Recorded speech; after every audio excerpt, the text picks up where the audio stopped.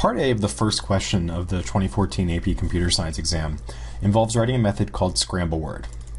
And scramble word takes a given word and returns a string that contains a scrambled version of the word according to the following rules. We have the scrambling process begins at the first letter of the word and continues from left to right. If two consecutive letters consist of an A followed by a letter that is not an A, then the two letters are swapped in the resulting string. Once the letters in two adjacent positions have been swapped, neither of those two positions can be involved in a future swap. And the following table is going to show several examples of possible values for the parameter word, and finally what's going to be returned by an invocation of the method scramble word when you pass that parameter word. So for example, in TAN, T and A will not swap because we need a set that consists of A followed by a letter that is not A. So T is not A, so it's not going to work. Then we need, then we move on to A and N. They will swap N and A, and then we're done because we can't involve those letters in any more swaps. For the second word, we're going to swap this A and B. We won't swap R and A. We will swap A and C. We won't swap C and A. We will swap A and D. We won't swap D and A. We will swap A and B. We won't swap B and R. Well, we can't swap B and R because uh, they're not going to be involved in the set. Um, and we're not going to swap R and A. Here's some notes. These are actually pretty important to note. Assume that the classes listed in the appendices have been imported where appropriate. Unless otherwise noted in the question, assume that uh, parameters and method calls are not null and that methods are called only when their preconditions are satisfied. That's very important because most of the time when you're writing methods for computer science, you want to make sure that um, you're checking to make sure that the if an object is being passed that is not is it has a non-null value because if you're trying to um, invoke methods on a null object it can do some bad things and you can get some null reference exceptions null pointer exceptions. Um, and then in writing solutions for each question you may use any of the accessible methods that are listed in classes defined in that question. Writing significant amounts of code that can be replaced by a call to one of these methods may not receive full credit anytime you're looking at a class, it's really important just to look at the methods and familiarize yourselves with them or any sort of instance fields that are available because you're probably going to want to use those in your answers. let's go ahead and write our method. So we want to complete scramble word. We want to scramble a given word. And we're past we're past a parameter word, which is the word to be scrambled, and we're going to return the scrambled word, which could possibly be equal to word if there's no swaps to be made. The precondition, this is what you can assume is true before the method is invoked. Word is either an empty string or contains only uppercase letters. The postcondition is that the string return was created from word as follows, so it just meets the each of the criteria that we just discussed. Public visibility, static method returns a string called scramble word, and we're passed one parameter, which is a string called word. Let's just make an outline of what we want to do. We want to iterate through the characters in Word. And we'll discuss more about that in a second because we're going to do that in a special way. We have an A followed by not A. Swap those two characters. And then we always want to make sure that we're returning uh, the string. So we'll return word again. Now, something to keep in mind about this question is that strings are immutable in Java, meaning that we can't just directly modify its contents. Something we can do, though, is destroy the original string and create a new one, which is what we're going to be doing.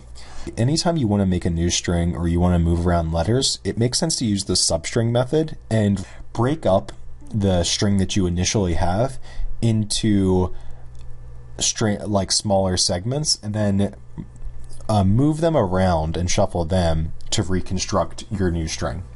We have to consider that we're always going to be comparing two consecutive letters. We want to we don't want to get we don't want to end up doing something like having any out of bounds errors. Something that might make sense here is to start at index 1 in Word and compare the index that we're currently on with the index prior to it. And we say if the current index is not equal to A and the previous index is not equal to A. As long as we start at 1 and we go to the end of the and we go to the last index of the string, we're guaranteed not to get we're guaranteed not to run into any out of bounds exceptions. So we'll write our for loop like this. We're going to initialize our counting variable index and assign a value of 1. Then we'll say while index is less than word dot length. And that's because the last the last index in any string is going to be the length of the string minus 1 unless it's a null string. We're guaranteed to never go past the bounds of the string. Then we'll increment index by 1 with each iteration of the for loop. And we're possibly going to be doing a bit more to index, but we'll find out about that in a second. Set up some curly braces here, put some stuff inside. We know that we're going to be returning words, so we might as well just fill that in as well.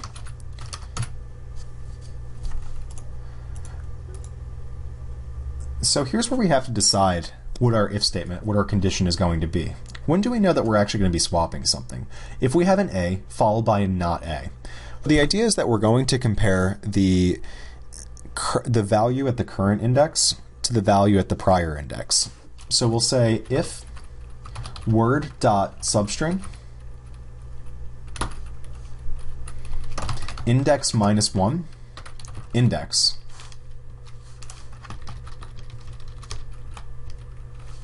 Dot equals a.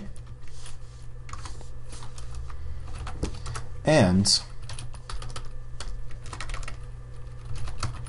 word dot substring index index plus 1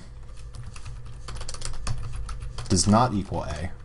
And to to when we say not equal we can write that like this we can put an exclamation point in front of this second condition so let's explain what's happening here. We're, so we're saying if word.substring index minus one comma index. If you remember this, the the method substring of the string class is passed um, is passed either one or two parameters.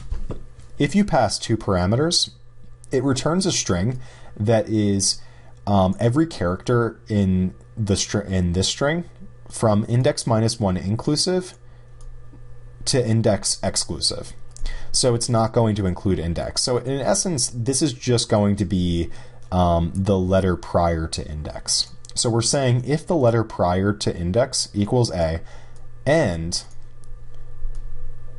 the opposite of the letter at index is equal to a. So just putting uh, this exclamation point in front of it um, will means that it is not equal to a.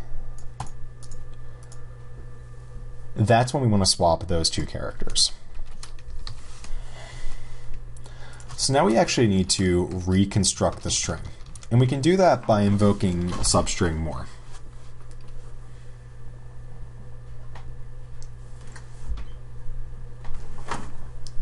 The way you want to think about it is that we're going to be taking, we're going to be splitting up the string into four parts and, re and reassigning those four parts to word we're going to say that there's the part of the string that's prior to the character that we're trying to swap.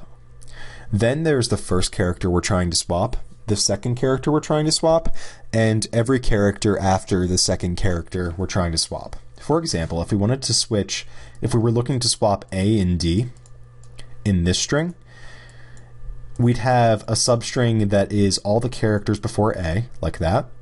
We'd have the substring of the first character we're trying to swap, this A, the second character we're trying to swap, which is this D, then all the characters after the D, A, B, R, A.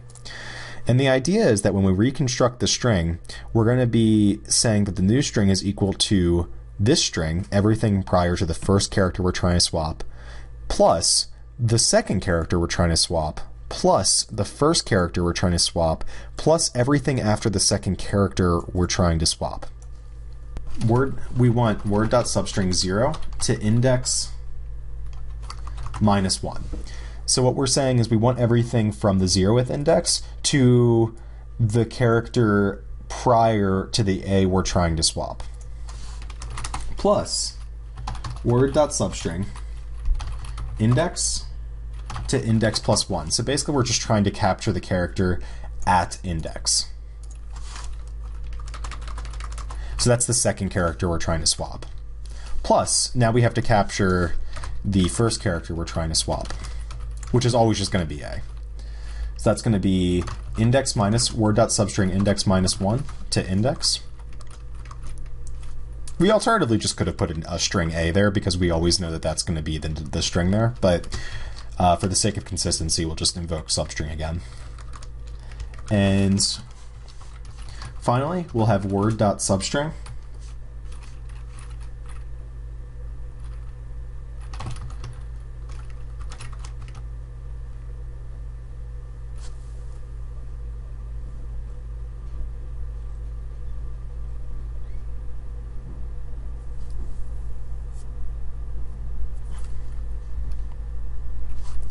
we'll have word.substring index plus one.